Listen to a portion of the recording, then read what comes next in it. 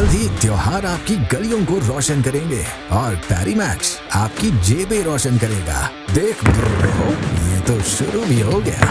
लखपति casino festival के साथ बड़ा जीते।